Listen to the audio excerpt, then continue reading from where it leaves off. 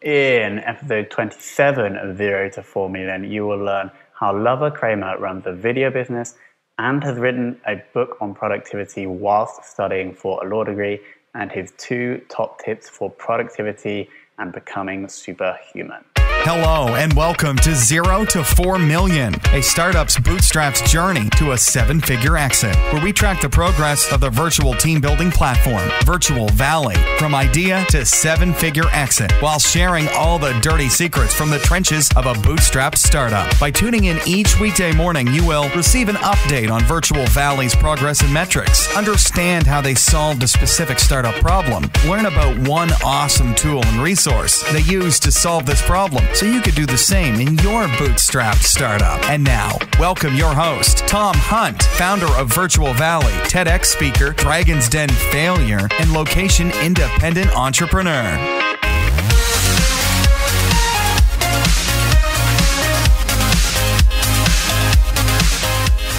Hello and welcome to episode 27 of Zero to Four Million. Let's have a look at yesterday on Monday's metrics. We hit 52 website sessions, with the, which is actually half of the average of last week. So that's pretty low. We got one entrepreneur lead on the blog.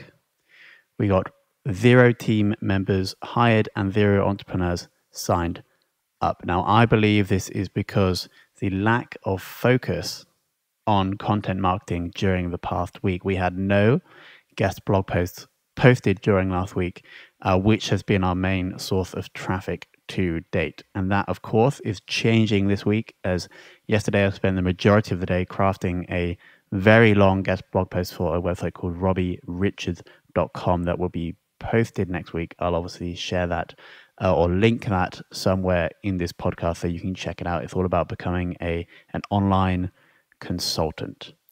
That's all for yesterday. That's pretty much all I spent my time doing. And let's now jump into the content for the rest of the episode.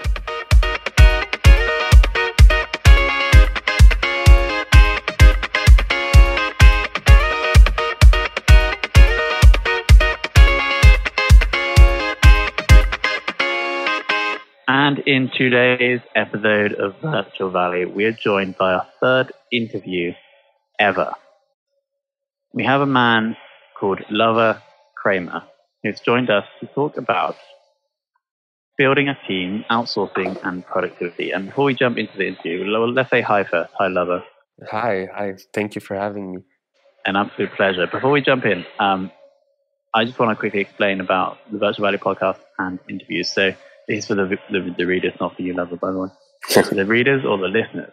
This is for the listeners. So I try to shy away from the entrepreneur interview podcast hype that seems to happen. It's really, really useful for exposure, but I, I wanted to do something different. So I didn't want to interview too many people. I wanted to interview people that have message that's relevant to the people that, or to the virtual valley journey and the people that listen to this podcast.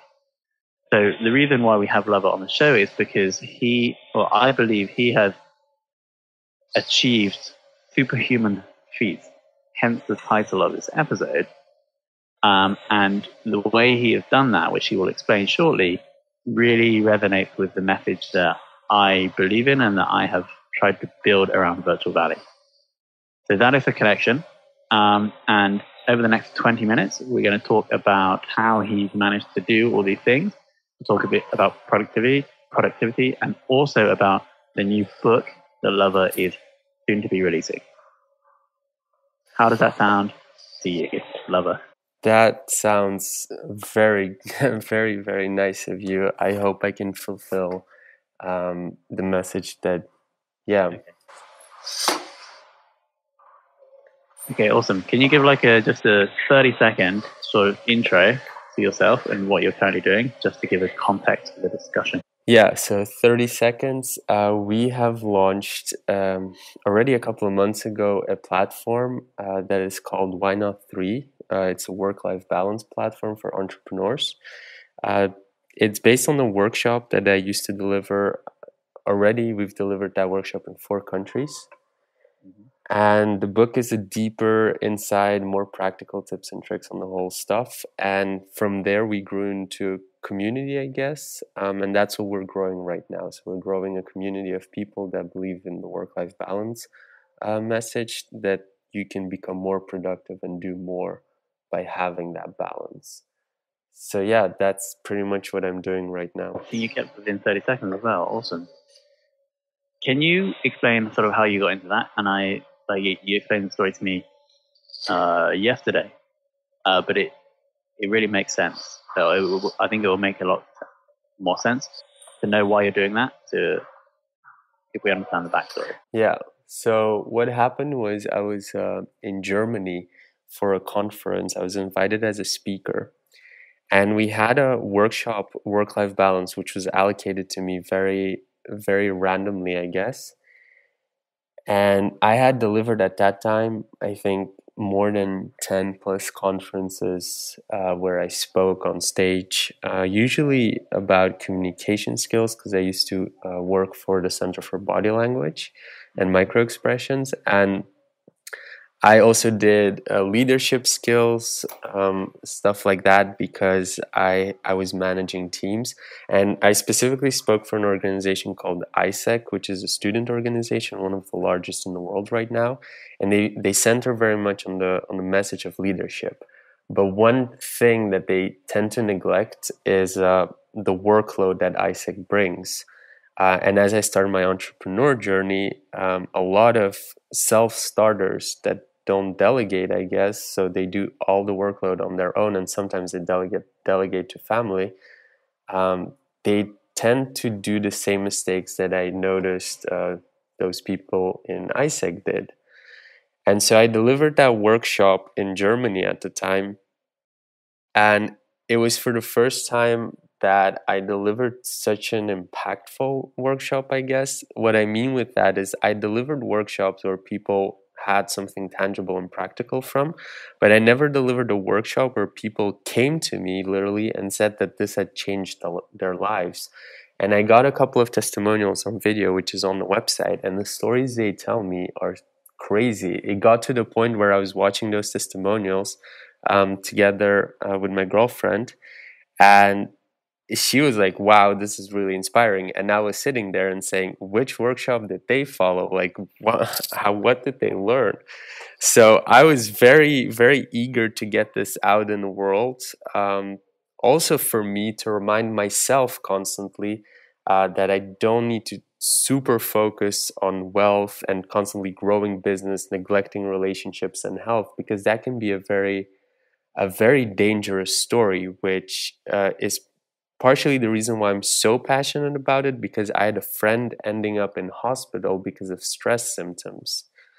Um, and then after a while, we started. I started being more strict and telling her, "Look, you should really focus on your health." And I gave her a couple of options, and I supported her throughout um, weeks on end for, for months. We're still doing it, and now her health is so much better. She's literally doing so much more stuff um, I think she she started getting more promotions in her company as well. She's a trainer.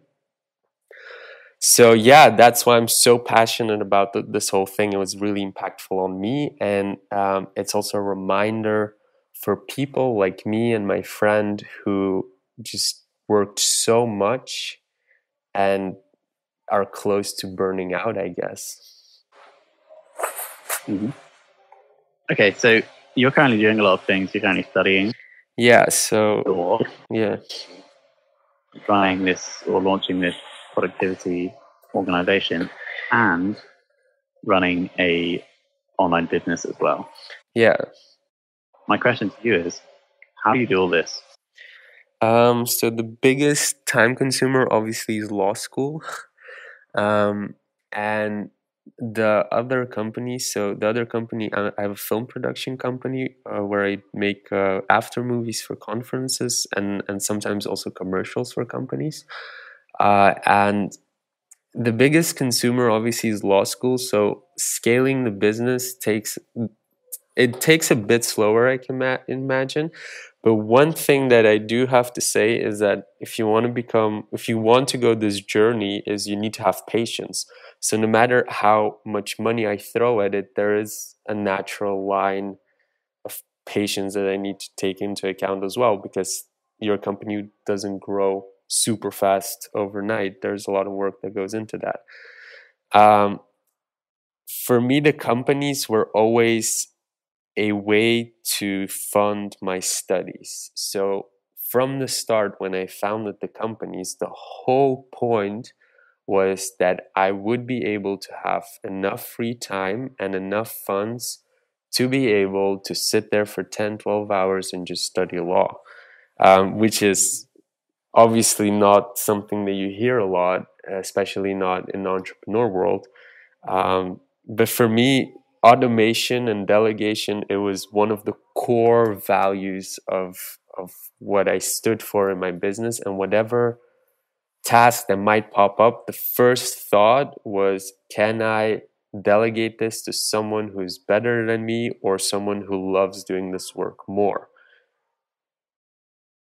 and that's a great question to ask right yeah I think a lot of entrepreneurs believe that especially when they're starting out with their business they need to do everything. Yeah, yeah. And it can often lead to the entrepreneurs doing tasks that it that seem like they're helping their business and growing their business, but then the opportunity cost of them spending their time and energy doing those tasks actually means they could be growing faster if they gave it to someone else.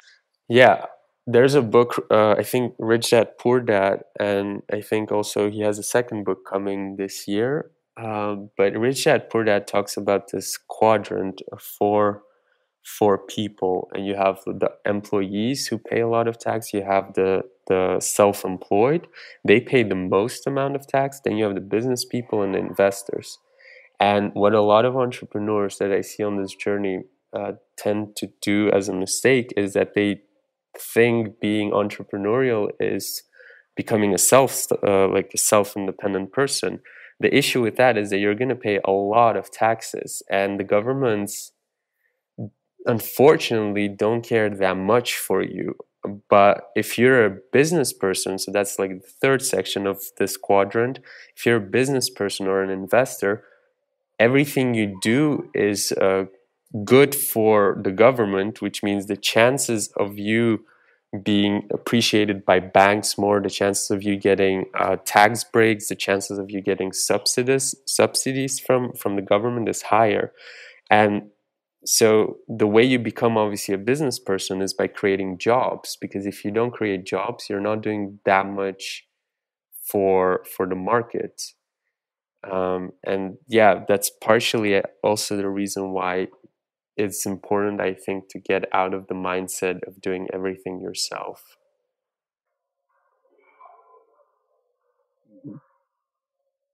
Mm-hmm. One thing I want to touch on is you mentioned that you started the whole entrepreneur journey and wanted to spend time studying law. Yeah.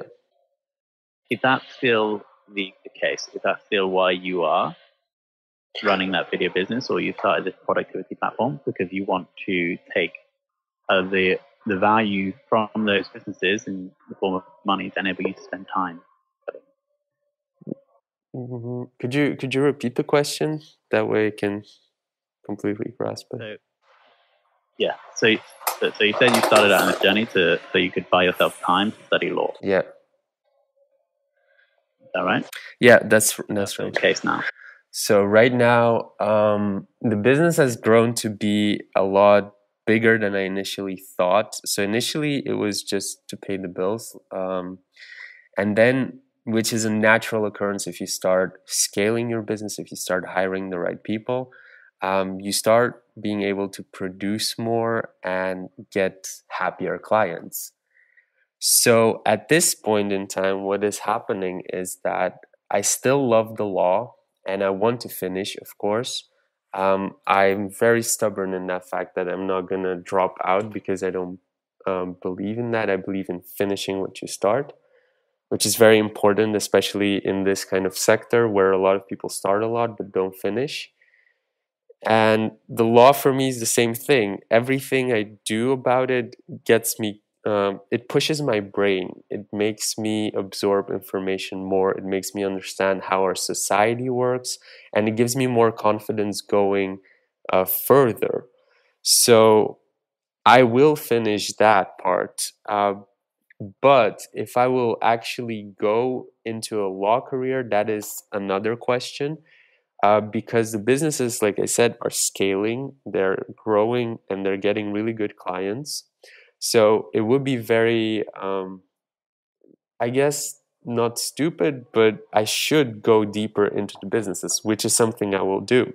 And they're also my passions. And then what I realize is I can always, as a backup, do pro bono work and actually help people. So that is kind of how I decided I will tackle this from now on. I will start focusing more on my uh, companies, um, not stop the the growing, not stop the growing, and just yeah, just focus on that part. It's it's not really a perfect answer, but I I just want to finish what I started. I don't want to stop I don't want to stop in my tracks, not for anything that I start. So if I started this productivity platform, I'm going till the end. If I started my film production company, I'm also going till the end because I'm hanging out with the people that I want to hang out with. So I wouldn't stop that for the world. And the same goes for law. Um, understanding how everything works is one of my biggest things that I want to have for myself. I always want information. Okay. So I think it's going to be interesting when you finish studying and you have this wealth of time that you can invest into further building the systems that you're building. Uh, and what I like about you is that you're not, or you try to avoid working within this as much as possible. So all of this time that is going to be released after you finish the studies, you will probably invest in building those two systems that we've just discussed. So, do you expect the growth to increase once you have finished your studies? Yeah, of course. Um, right now, what's happening is um, my sales are getting bigger, but the quantity is not getting bigger because I can't handle the workload. Even though um, at one point we were a team of 13 people, um, even though that is happening, I still I can't process uh, too much things happening, of course, um, especially not with the law stuff that I need to process. So, for instance, um, so in the productivity platform, why not three right now? Uh, we just hired a second blogger, and she's amazing. Um, the issue with that is, and I told both of them, um, I can't proofread all of these blogs I can't proofread two blogs a week uh, right now. So, and it, to get a really good blog post, you should invest more time than a week. So I give them extra time. I get higher quality blogs from them, and I have every week at least one blog that I need to proofread. So there is a limit to what I can do, but understanding those limits is part one of the challenge because pushing when you don't know what your limits are is it's very dangerous. And my first thing that i teach all my clients is know where your limits are because only then can you start doing more. So i know that my limit is I, i'm not going to hire like a third blog blogger right now because right now it's it's not possible to do that. But the moment i graduate pretty much uh, from this suddenly i open myself up to so much more potential and this training that university gave me which is the processing of information like so much that you can do with that. Suddenly you're so much more effective in this one hour that you do stuff. And i've had to learn the skill to also be productive in, in one hour because i don't have that much time during the day to actually invest i guess. I have to catch up with other entrepreneurs that are investing 10 12 hours and i have to do it in eight or seven um, in the evenings or in the early mornings Something I want to pick out that you said that you mentioned that you you can't review two blog posts in a week. Whereas it, it might not be that you can't, even though that you prioritize other things Yeah. over reviewing that extra blog post in a week. Okay. Yeah. That is because you have the other priorities in your life, primarily getting a law degree Yeah. So or prioritize. Yeah, the way I do it in the workshop is I divide it into goals. So my goals right now are growing Why Not Three. Um, uh, it's growing my film production company, um, and it's finishing my law degree.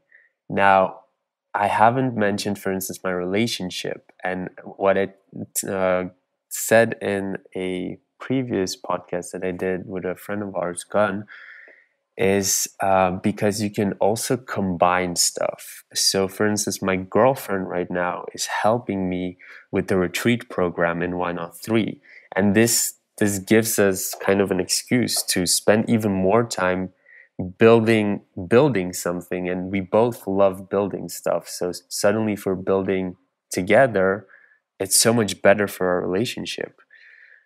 So, yeah, I do focus on stuff. But for instance, the reason I said not more than two bloggers is because even though Why Not 3 is a focus, it's not the biggest focus. I have a priority in focuses as well. So I know that if I want to invest the, the right amount of energy into growing the book and the retreat program right now, uh, then I can't be processing too much blog posts. And then also I have the film production company and I'm processing a lot of videos there as well. We just got a project where I'm think yeah, we just finished a project where we edited up about 130 videos in a month and a half. So yeah, there's a lot going on and I do need to prioritize. So me making a choice is part of that understanding what my limits are and and yeah focusing on the right things I love what you said about uh, your point about leveraging two areas of your life in order to, or like fulfilling or progressing towards two goals by doing one thing.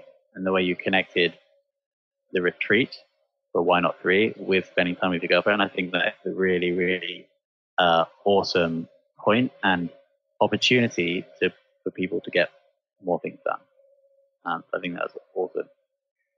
Um, okay, so what I like to do in the last sort of five minutes of the interview is sort of pick your brains for personal productivity tips. That's okay. yeah So specific, actually, one thing that interests me at the moment is the, the morning ritual.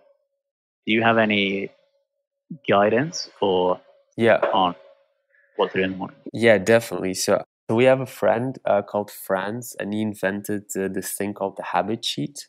Hmm uh, it's really cool and it's free available. Uh, he's really cool in what he did in that habit sheet. So i do tend to use the habit sheet very regularly. Uh, but after a while my morning routine kind of gets ingrained into me so what i do for my morning routine is i wake up and i am horrible at waking up everybody that knows me uh, knows that part about me um, so I tend to do everything before I go to bed. That way, when I wake up, I kind of can fall out of bed and everything is just ready to go. I don't need to use my willpower to start packing and stuff like that. So everything is done before. Then, when I wake up, um, the first thing that I do that actually wakes me up because it takes me a while to wake up. I, I have this uh, speech that I found on YouTube uh, by a, the founder of Mindvalley and he has an app called Omvana, and he has a, a six uh, six step meditation, the guided meditation thing. So every morning, I tend to listen to this meditation thing, and it it's about ten to fifteen minutes, and it wakes me up.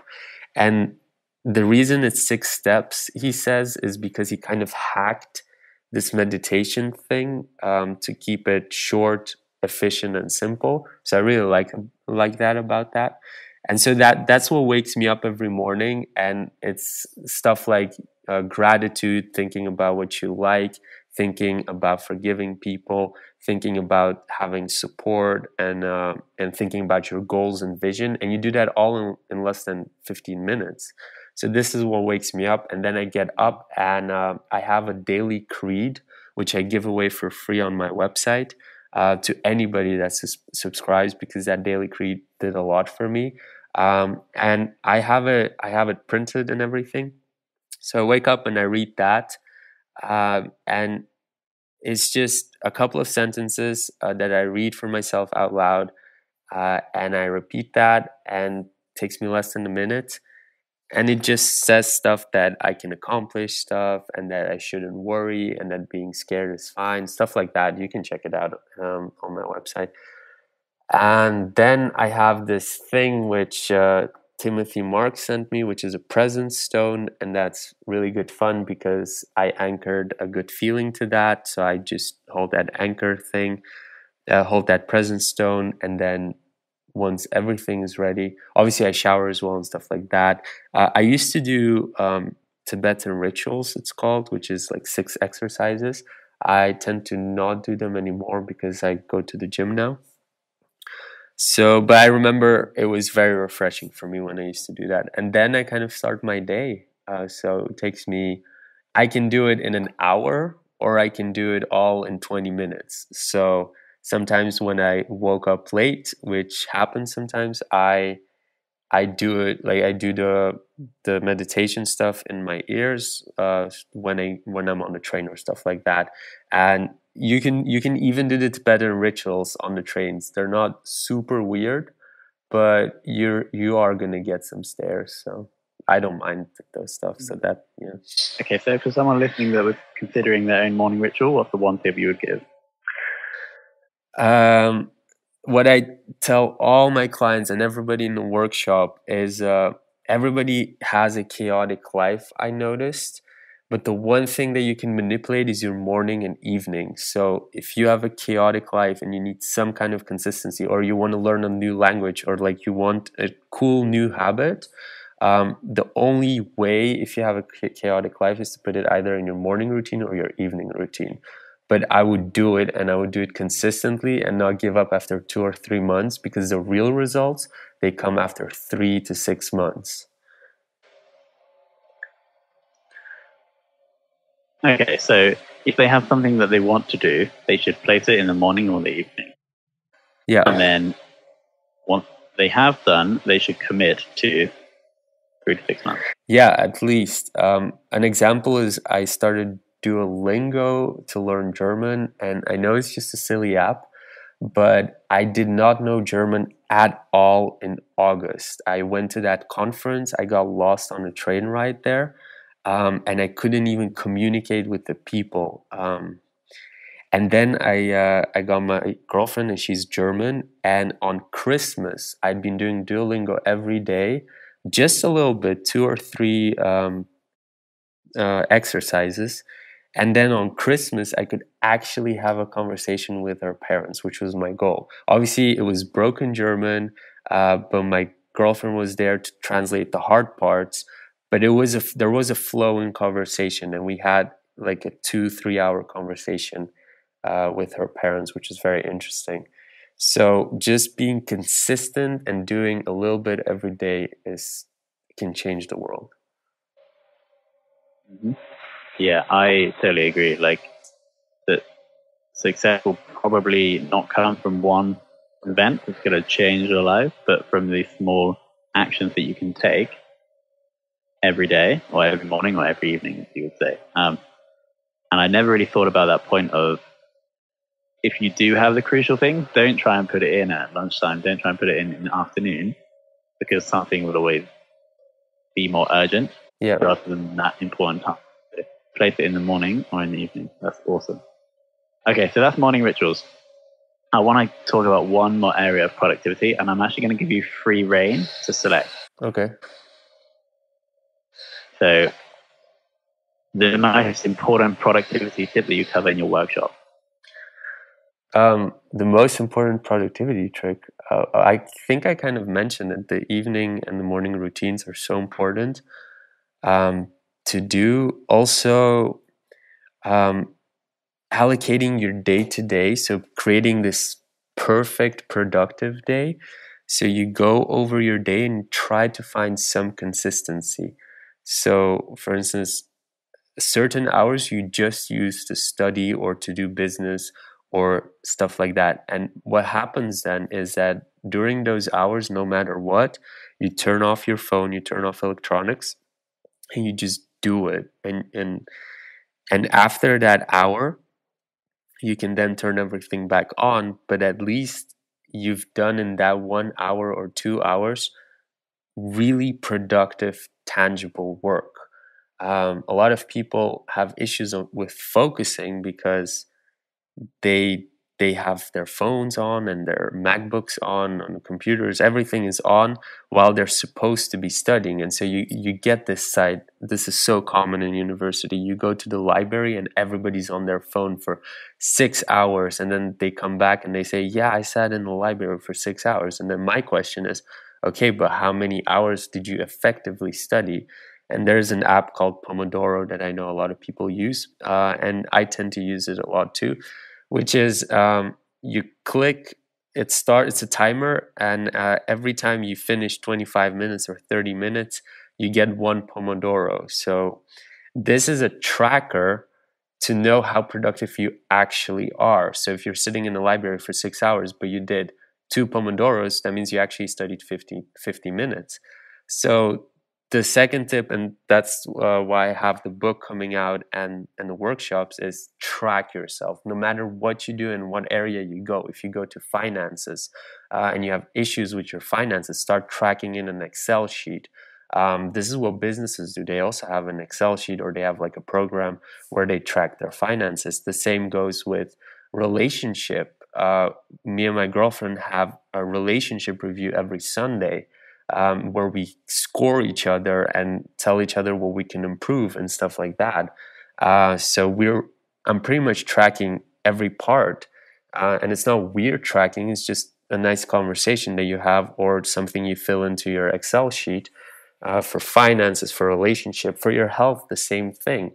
Um, I I can imagine that if you put into your Excel sheet, oh, I ate today a donut, and you do this ten times, um, after the 10th time that you put in, oh, I ate a donut, you're going to start noticing a trend. So tracking is so necessary um, and actually allocating time to focus and, yeah, morning and evening routine. That was a bit more than one. Yeah, yeah. So what I'm hearing about the tracking part is tracking enables you to become aware and when you become aware of what you're doing, you can actually make more intelligent decisions. Yeah, yeah.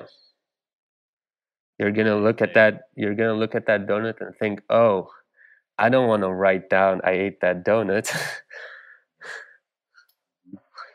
okay, so to, to summarize on productivity, we've discussed morning rituals, and if you do have tasks that you believe are really important, they should be placed in the morning or in the evening. That's when you'll have time to do them.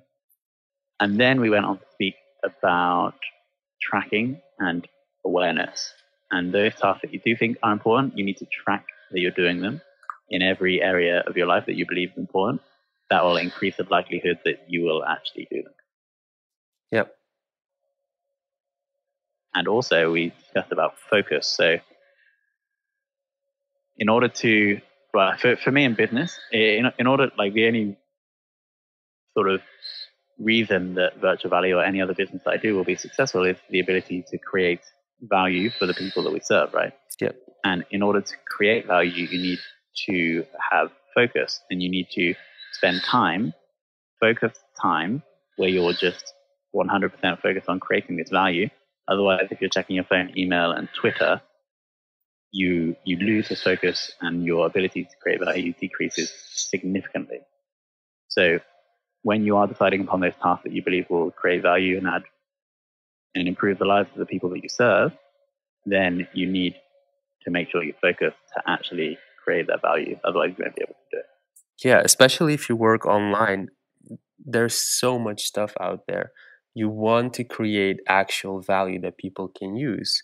If you sit there and you do 50% of what you can deliver, it's not fair towards um, the users of your platform. So yeah, totally agree with what you said. Okay, cool. So we're gonna have to tie it up here. But what I want to do is tell people where they can go to take the next step. Yes. So productivity platform. So um, we have one website, uh, very simple. Why not three? So why the word, not the word, and then three the number. Uh, so why not three.com you can literally you'll see there there's a video explaining what's happening and also you can just fill in your email there. Then you will be automatically put on the email list where i share every friday a personal story. Uh, and you get a lot of goodies. You get a, a small ebook uh, with the top 10 mistakes that people make. You get my daily creeds um, and the output of the workshop that i uh, delivered to people so this is the actual output that I give to people after my workshop. Okay, we'll link below so people can just click that link, jump over, and start getting more productive. Okay, love it. It's been an absolute pleasure. Thank you for joining us. Thank you. Thank you for having me.